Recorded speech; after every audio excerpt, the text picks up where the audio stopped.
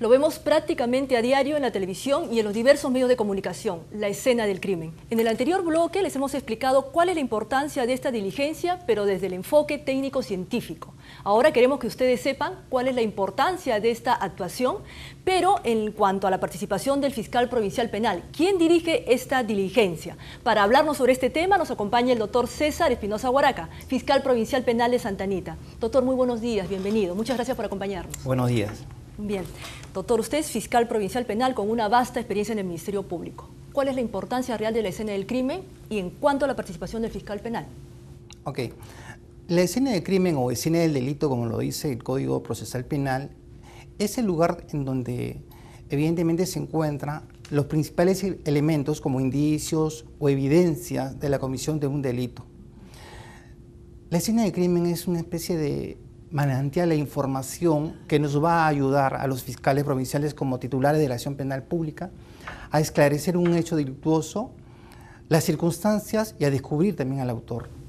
Así es. Esta actuación, entonces, la escena del crimen es vital para esclarecer totalmente un delito. Definitivamente, como primera diligencia de la investigación preliminar, el estudio de la escena del crimen es de vital importancia. Doctor, ¿por qué se debe proteger la escena del crimen? Ya algo se esbozó en la anterior entrevista, pero ¿por qué es importante realmente desde el punto de vista del fiscal que tiene a cargo la investigación? Es importante el aislamiento de la escena del delito porque hay que evitar que ésta se contamine, porque una vez que se contamine es imposible poder trabajar los elementos, ¿verdad? No nos van a servir de mucho. Es más, hasta nos podrían inducir error y nos podrían llevar por investigaciones equivocadas.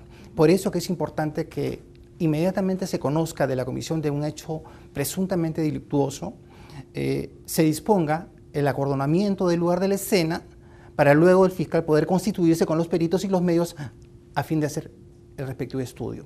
Eso quiere decir, doctor, que a partir de la escena del estudio de la escena del crimen, ya el fiscal provincial penal se puede formular sus hipótesis de trabajo. Definitivamente.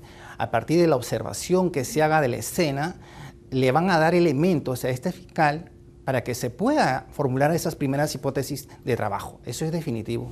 Lo primero que hace el fiscal al constituirse la escena del delito es observar junto con los peritos, ¿verdad? Observar que es importante observar.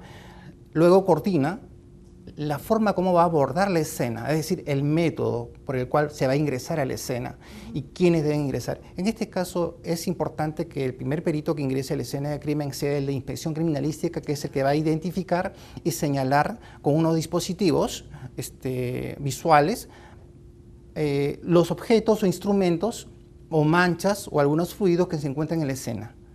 Luego se pereniza la escena con tomas fotográficas o videos Finalmente, se dispone el ingreso de los demás peritos, que pueden ser inicialmente con el perito biológico, o biólogo, perdón, y luego el perito de eh, balística forense, dependiendo de qué tipo de arma se, haya empleado en la comisión del delito.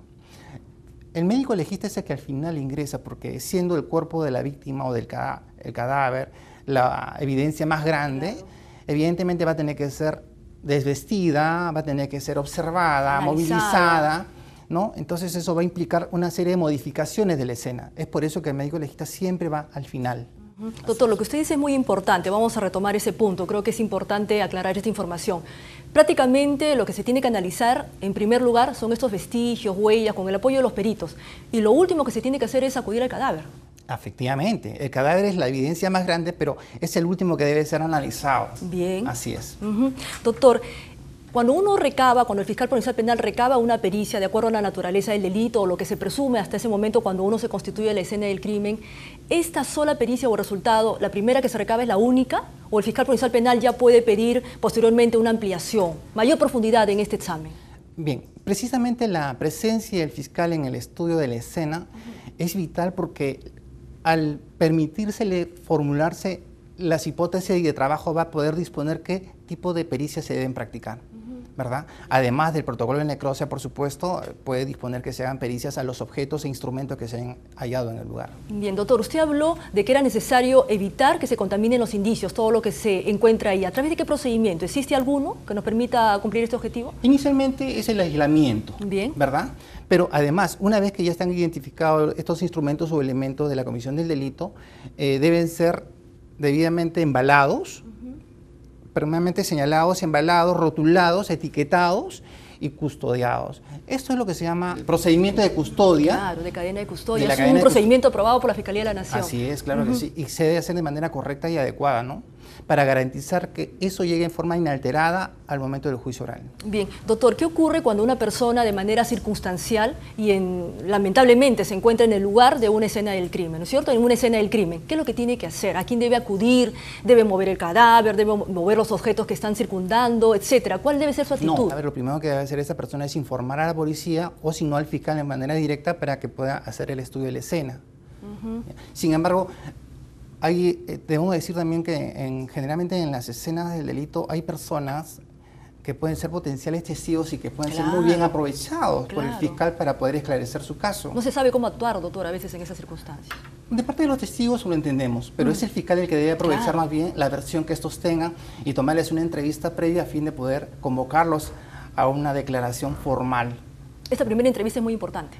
Siempre. En el lugar. Siempre es importante, por lo menos para identificar quiénes podrían ser esos potenciales testigos. Claro que sí. Así es. Pero también tenemos que tener en cuenta que hay testigos que tienen miedo cuando se tratan de hechos graves, sí, ¿verdad?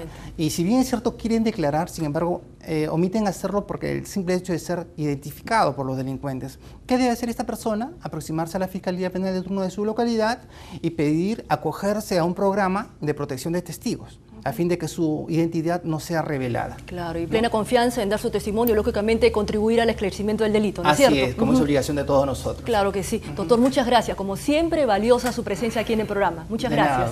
Bien, amigos, no se muevan. Retornamos con más en su programa Los Fiscales. Ya venimos.